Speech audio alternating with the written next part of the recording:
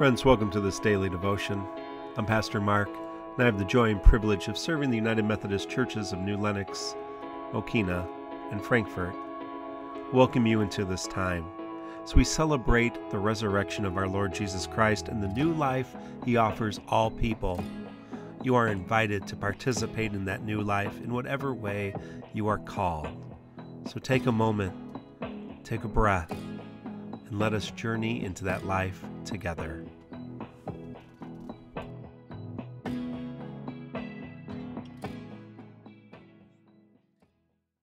Friends, hear the invocation. O God, who through the grace of thy Holy Spirit dost pour the gift of love into the hearts of thy faithful people, grant us health, both of mind and body, that we may love thee with our whole strength, and with glad hearts may perform those things which are pleasing unto thee, through Jesus Christ our Lord. Amen. Friends, our theme this week as we start Easter tide, the season of 50 great days leading to Pentecost, has been partakers in eternal life, or partakers of eternal life. Our theme psalm has been Psalm 46, today picking up in verse 8. Come, see the Lord's deeds. What devastation he has imposed on the earth, bringing wars to an end in every corner of the world, breaking the bow and shattering the spear, burning chariots with fire. God bless the reading of the psalm. It's interesting, isn't it? Because uh, the language there, don't really have time to dig into the Hebrew, but the language there is is fascinating because there's devastation. Uh, things are being destroyed, but what is being destroyed? War is being destroyed. Violence is being destroyed tools, weapons, vehicles of war are being destroyed. Interesting, isn't it? What's God's life a life of? Is it a life of conflict? A life of power?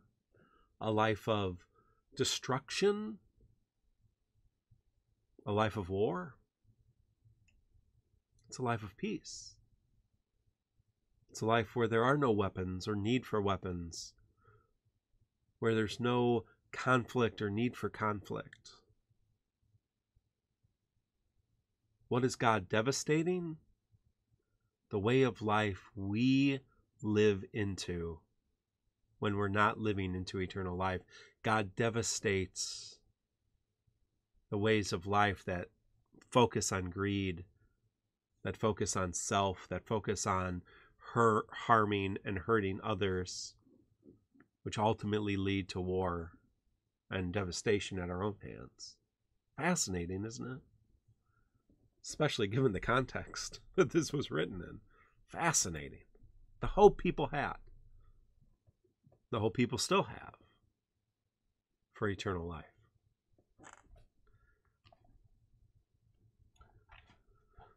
Our reflection today comes from The Problem of Pain by C.S. Lewis. Scripture and tradition habitually put the joys of heaven into the scale against the sufferings of earth. And no solution of the problem of pain which does not do so can be called a Christian one. We are very shy nowadays of even mentioning heaven. We are afraid of the jeer about pie in the sky and of being told that we are trying to escape from the duty of making a happy world here and now into the dreams of a happy world elsewhere. But either there is pie in the sky or there is not. If there is not, then Christianity is false, for this doctrine is woven into its whole fabric. If there is, then this is truth. Like any other, must be faced, whether it is useful at political meetings or not. Again, we are afraid that heaven is a bribe. That if we make it our goal, we shall no longer be disinterested. It is not so. Heaven offers nothing that a mercenary soul can desire. It is safe to tell the pure in heart that they shall see God, for only the pure in heart want to. There are rewards that do not sully motives. A man's love for a woman is not mercenary because he wants to marry her, nor is his love for poetry mercenary because he wants to read it, nor is his love of exercise less disinterested because he wants to run and leap and walk. Love, by definition, seeks to enjoy its object. Fascinating. Uh, interesting work from C.S. Lewis. If you want to pick that up, it's uh, referred to um, as the problem of pain. There's a lot of other modern uh, theologians, good theologians, who have worked on the problem of suffering and, and things like that in the world. But but C.S. Lewis kind of working in, in his kind of uh, day and, and kind of thinking it's World War II era that he lived, where either right we, we're we're all uh, just waiting to leave this horrible earth and float up to heaven, uh, or hey, let's not be concerned about heaven at all. Let's we we just gonna and the reality is why not why not both?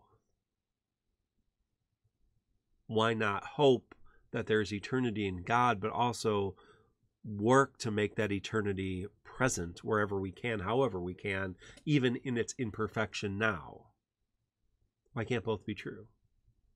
Why can't we hold both? And, and and not hold them like with a closed fist but but hold them with an open hand experiencing them in a myriad of ways every day of our life, knowing that we can experience eternal life uh, uh, powerfully today and, and, and, powerfully tomorrow and powerfully 10 years from now and probably much more powerfully after we die. Whatever that looks like. John Wesley referred to it as joy. Pure joy. Christ came so that our joy may be complete. And so John Wesley really felt heaven was just joy. And so, why can't we have a hope for a perfect joy? But also then live into it, lean into it today. We don't have to mope around. We don't have to be saddened and hopeless nor do we have to on, on the other hand you know completely believe that there's nothing after this life and everything we have is here and so we have to make it the best we can and then constantly be disappointed as we fail because we will continue to fail because there are a lot of other people who don't care and we continuously cl- clash up against that. It doesn't mean we stop working. And that's why i think it's both and I think we do everything within our power to do all the good we can to make thy kingdom come on earth as it is in heaven, knowing that in the end it will be. In the end, there is joy. No matter what, God wins. Our scripture reading today comes from 2 Corinthians chapter 4. We'll pick up in verse 7. But we have this treasure in clay pots so that the awesome power belongs to God and doesn't come from us. We are experiencing all kinds of trouble, but we aren't crushed. We are confused, but we aren't depressed. We are harassed, but we aren't abandoned. We are knocked down, but we aren't knocked off. We always carry Jesus' death around in our bodies so that Jesus' life can also be seen in our bodies. We who are alive are always being handed over to death for Jesus' sake, so that Jesus' life can also be seen in our bodies that are dying. So death is at work in us, but life is at work in you. We have this same faithful spirit as is written in Scripture I had faith, so I spoke. We also have faith, so we also speak. We do this because we know that the one who raised the Lord Jesus will also raise us with Jesus and he will bring us into this presence along with you.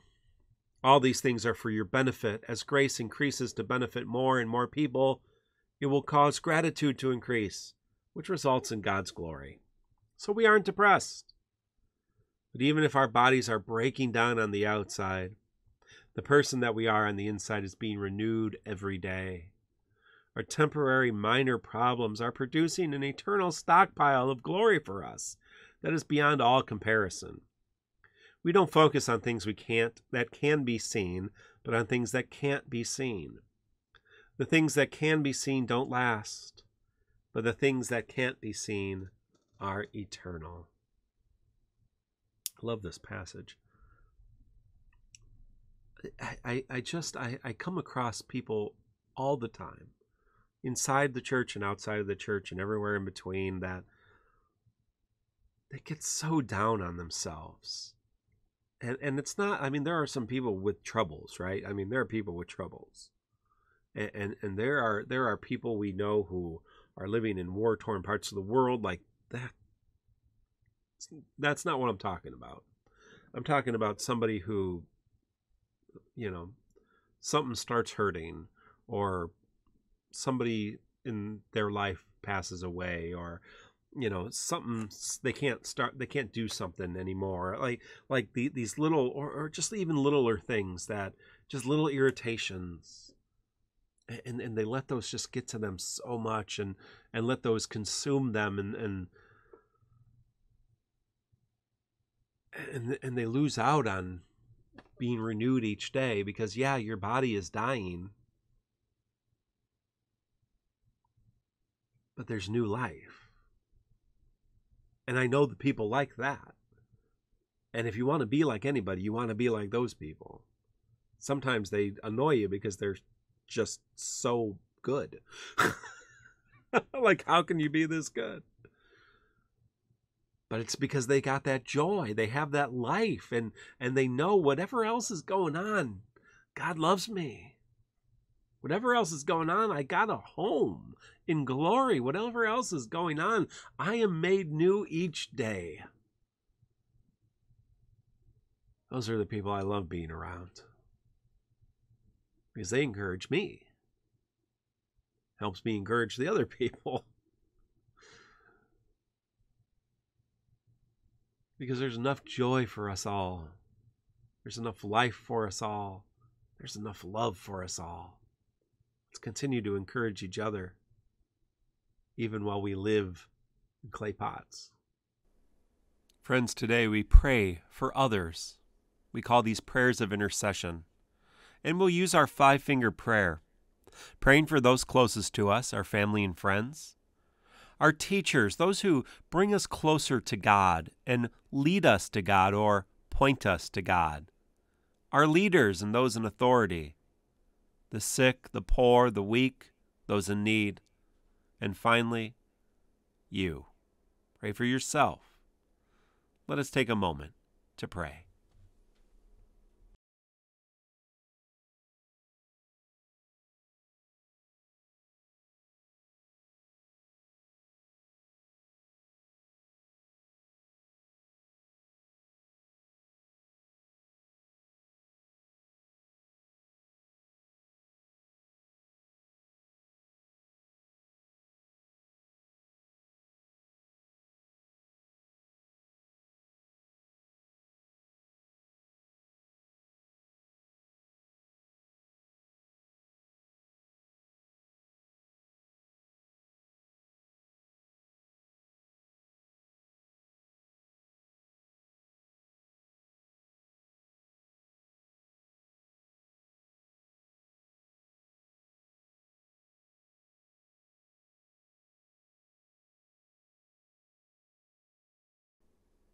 Let us pray the prayer that Christ taught us, saying, Our Father, who art in heaven, hallowed be thy name.